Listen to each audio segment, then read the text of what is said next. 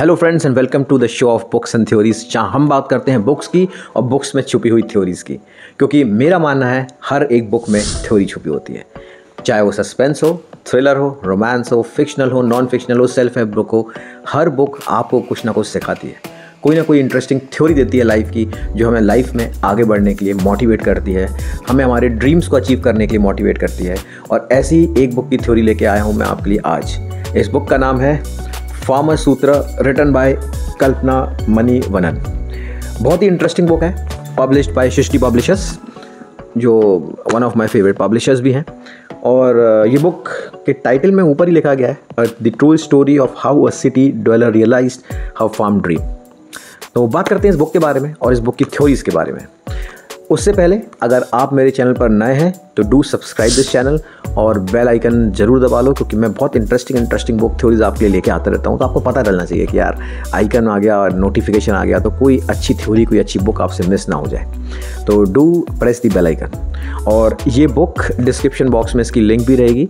तो अगर आपको इस बुक की थ्योरीज पसंद आती हैं, आपको लगता है बुक अच्छी है, इसकी थ्योरीज इंटरेस्टिंग है, ये बुक में दम है और आपकी लाइफ को कुछ मोटिवेट कर सकती है, आपकी लाइफ को कुछ सीख दे सकती है, या कोई ऐसा बंदा या बंदी जो इस कंटेंट को पढ़ना चाहे और आप चाहते उसको गिफ्ट करना है तो डिस्क्रिप्शन बॉक्स में लिंक अवेलेबल है बुक की, आप वहाँ से ऑर्डर कर सकते हैं। खैर, उससे पहले let's start our books and theories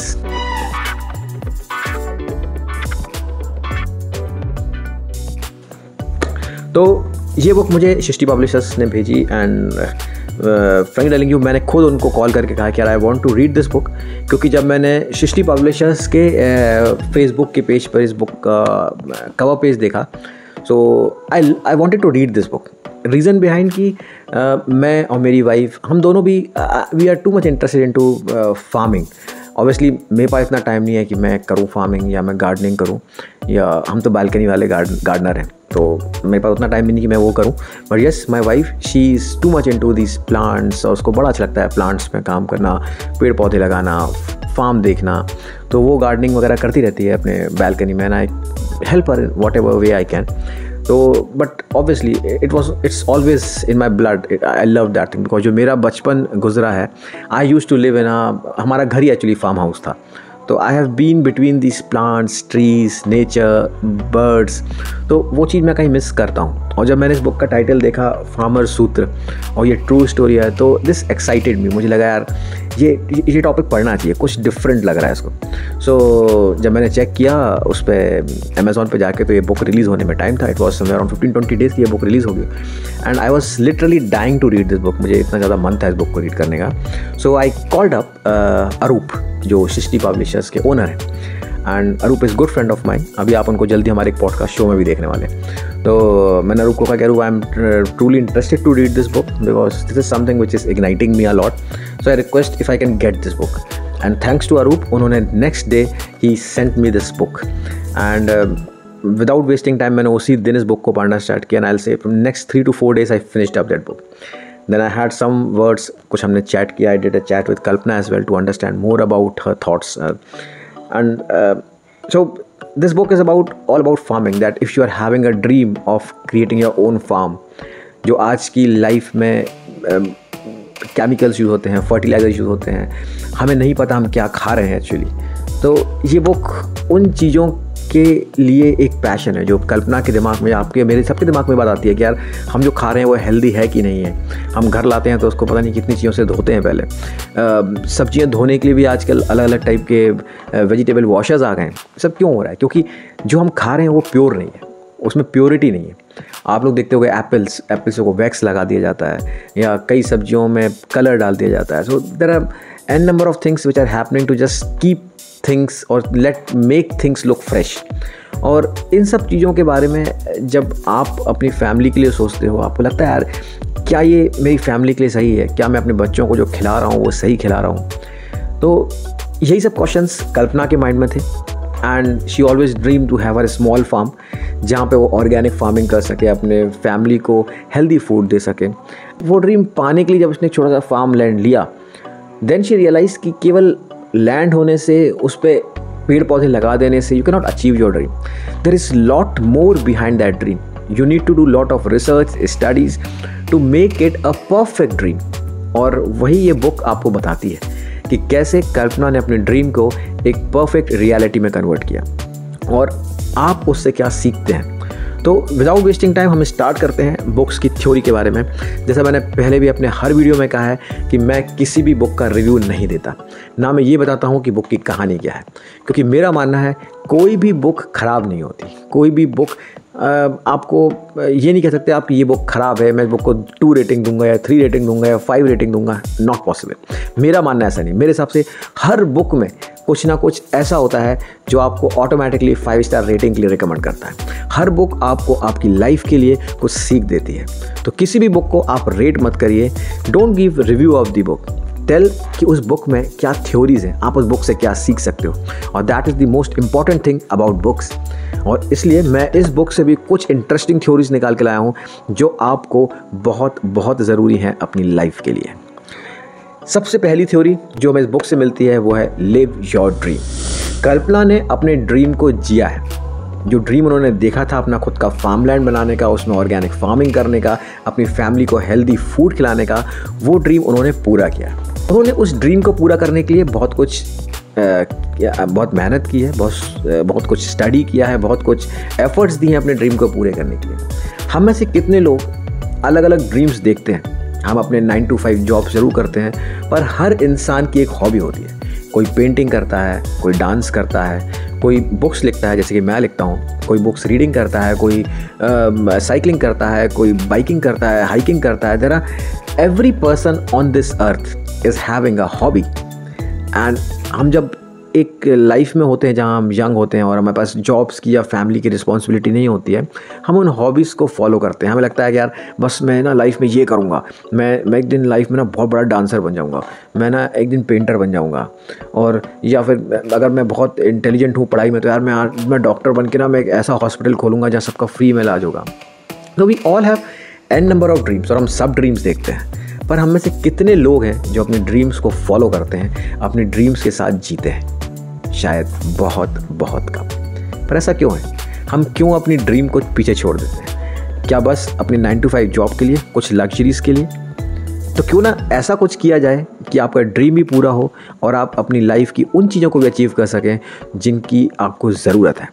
So that is what this book tells about जहाँ कल्पना ने अपने ड्रीम को पूरा किया और उस ड्रीम को एक well verse job sort of thing में भी कन्वर्ट किया। And that is very important not only about Kalpana I can tell you about myself मैं भी नाइन टू फाइव जॉब करता हूँ बट मेरा पैशन है बुक्स को रीड करना बुक्स लिखना। और ये पैशन मैंने I am also living my passion मैंने एट बुक्स लिख ली हैं नाइन बुक आने वाली है, मेरी छः बुक नेशनल बेस्ट सेलर हैं but I am living my dream but what I am earning out of it is the the satisfaction what I get मुझे खुशी मिलती है बुक्स पढ़ के, आपको बुक्स के बारे में बता के और बुक्स लिख के। और शायद यही मेरी थ्योरी है टू लिव माई ड्रीम और मैं कहूँगा, आपकी भी कोई थ्योरी है, आपकी भी कोई ड्रीम है, चाहे क्रिकेट खेलना हो फुटबॉल खेलना हो स्विमिंग करना हो whatever you do in your life अपनी ड्रीम को ज़रूर साथ में लिव करो। अपने ड्रीम को पूरा ज़रूर करना। कल को ऐसा ना हो कि आपको लगे कि यार, आप अपनी लाइफ का ड्रीम पूरा नहीं कर पाए। तो ये थी पहली थ्योरी सेकेंड थ्योरी जो हमको इस बुक से मिलती है नेचर इज़ ऑलवेज नेचुरल ये बहुत ही इंटरेस्टिंग लाइन है ना? नेचर इज़ ऑलवेज नेचुरल हमें भगवान ने सब कुछ नेचर में दिया है। प्लांट्स दिए हैं, पेड़ दिए हैं, खाना दिया है, हवा दिया है, पानी दिया है। और हम इंसान नेचर को ट्विस्ट करते हैं अपनी कन्वेंस के हिसाब से। जैसे कि सेब है एप्पल्स ये शिमला में होते हैं, कन्नौर में होते हैं, और भी कई जगह होते हैं। वॉशिंगटन में होते हैं, हम पढ़ते, देखते हैं वॉशिंगटन एप्पल्स ये एप्पल्स ताकि वेरियस प्लेसेस में डिस्ट्रीब्यूट हो सकें, उनको कोल्ड स्टोरेज में यूज़ किया जाता है, रखा जाता है। फिर कोल्ड स्टोरेज में उनको वैक्स लगा दी जाती है। Just to we we manipulate the food items for our self और ये मैनिपुलेशन इस हद तक बढ़ गया है कि अब वो चीज़ एक्चुअली आई से कि वो पॉइजनस होती जा रही है। बट जो नेचर है, वो हमेशा नेचुरल है। तो अगर आप नेचर को नेचुरली यूज़ करना होगे ना तो उसका स्वाद ही अलग होगा लाइफ में। जैसे कि अगर आपको सेब खाना है ऑब्वियसली हम हर कोई, हर दिन सेब खाने के लिए शिमला या मनाली नहीं जा सकते, पर अगर आप शिमला, मनाली या कोई भी ऐसी जगह जहाँ पे कि सेब होते हैं, अगर आप वहाँ जाके एप्पल का टेस्ट खाओगे ना तो आप यू विल फील कि यार उसका टेस्ट ही अलग है। वो वो नेचर का नेचुरल पान है।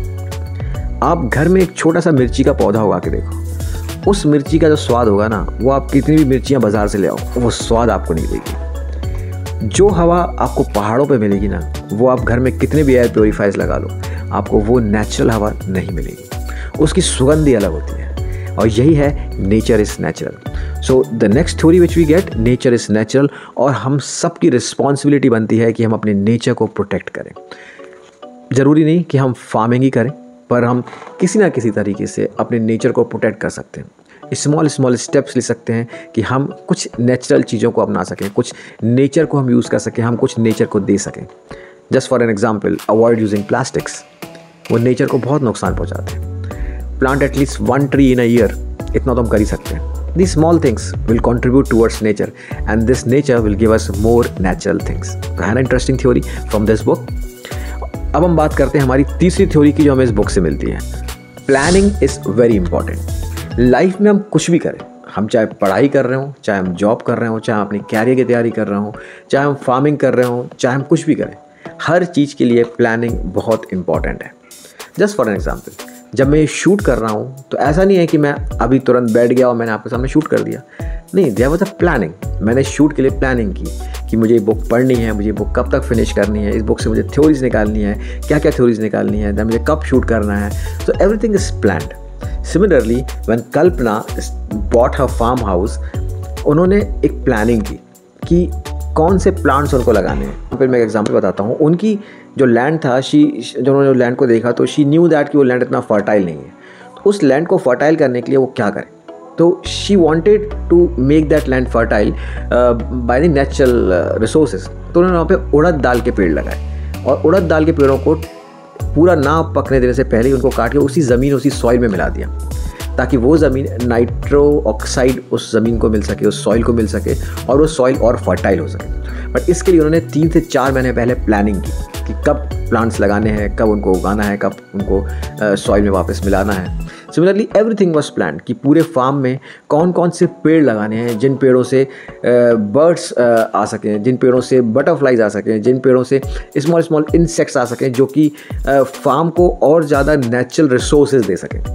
And by that she learn a lot उन्होंने बहुत कुछ पढ़ा उन चीज़ों को सीखने के लिए। हर चीज़ प्लान की and that the reason she is successful today in her farming और not only successful but as on date she is an organic farmer a sustainability coach and mentor जो अलग अलग लोगों को भी अब ऑर्गेनिक फ़ार्मिंग उनकी सस्टेनेबिलिटी के बारे में कोचेस देती हैं, उनके सेशंस लेती हैं। And she is one of the fifty under fifty quality leaders by folk story तो ये होता है पैशन और कैसे अपने पैशन को प्लान कर सकते हो। It's such an motivational story about farming जो हम सबको लाइफ में एक सीख देती है कि हमें जो भी करना है उसको प्लान करना चाहिए। और जो लास्ट थ्योरी हमको इस बुक से मिलती है that be positive if you want to be successful in your life और ये बहुत पुराना स्टेटमेंट है, हमने कई बार सुना है, पर ये स्टेटमेंट हम ना बोलते ज़रूर हैं, पर हम भूल जाते हैं। और हमें इसको भूलना नहीं है। हमें लाइफ में ना ये हमें सोच के रखना चाहिए कि कुछ भी हो जाए, भले आपकी लाइफ में कितना भी बुरा हो रहा हो, ये हमेशा याद रखो, जो होता है वो अच्छे के लिए होता है और जो होगा वो अच्छे के लिए होगा और ऐसा ही होता है। आप लाइफ में कितने भी बुरे फेस में हो, आप ये समझ के रखो कि एक ना एक दिन वो फेस ख़त्म होगा और आपके साथ सब अच्छा होगा। बस ज़रूरत होती है आपको अपने उस बुरे फेस में पॉजिटिव चीज़ों को ढूँढने की। ये ढूँढने की कि उस बुरे फेस में मैं क्या ऐसा करूँ जो मेरी लाइफ में पॉजिटिविटी ला सके। Kalpana when she was doing her farming she was always positive about that उनको पता था कि मैं जो कर रही हूँ, उससे मेरी लाइफ में पॉजिटिविटी आएगी, मेरी फैमिली के लिए पॉजिटिविटी आएगी, और कुछ ना कुछ पॉजिटिव होगा। And that's the reason she got success in her dream हम सबको अपनी लाइफ में पॉजिटिविटी ज़रूर रखनी चाहिए। कुछ भी बुरा हो रहा हो। अगर आप पॉजिटिव हो देन सब कुछ पॉजिटिव होगा। थोड़े से मार्क्स कम आ जाते हैं, हम डीमोटिवेट हो जाते हैं। अभी रिसेंटली बहुत सारी न्यूज़ आ रही हैं कि कोटा में कई बच्चों ने अपने आप को हैंग कर लिया, कोई सुसाइड कर लेता। अरे यार मार्क्स हैं। बी पॉजिटिव ये सोचो कि अगर आज मार्क्स कम आए हैं, अगले एग्ज़ाम में उससे ज़्यादा आएँगे। बट ज़रूरत है एफर्ट्स देने की। Whatever is your dream उसमें एफर्ट्स देने की। तो ये बुक आपको एक परफेक्ट सर्कुलर थ्योरी देती है to think about your dream to be passionate और कैसे उस पैशन के लिए be positive and how to give efforts for your passion so अगर आप में पैशन है, आप पॉजिटिव सोचते हो तो इस बुक को ज़रूर पढ़ो। ये बुक आपको बहुत सीख देगी और ये बताएगी कि कैसे आप अपनी लाइफ में सक्सेस पा सकते हो। And obviously nature is nature तो नेचर के साथ रहिए। नेचर को और ग्रो कराइए। नेचर को बहुत कुछ दीजिए, क्योंकि नेचर हमको बहुत कुछ देता है। और अगर आप नेचर को देंगे तो नेचर आपको दस गुना बढ़ा कर देगा। तो अगर ये वीडियो पसंद आया हो, इस बुक की थ्योरी पसंद आई हो तो रिक्वेस्ट करता हूँ दोस्तों, एक लाइक ज़रूर करना, वीडियो को शेयर करना ताकि और लोगों तक भी इतनी इंटरेस्टिंग बुक की थ्योरी पहुँच सके। कमेंट में ज़रूर बताना बुक कैसी लगी। Till then bye bye and be with books and theories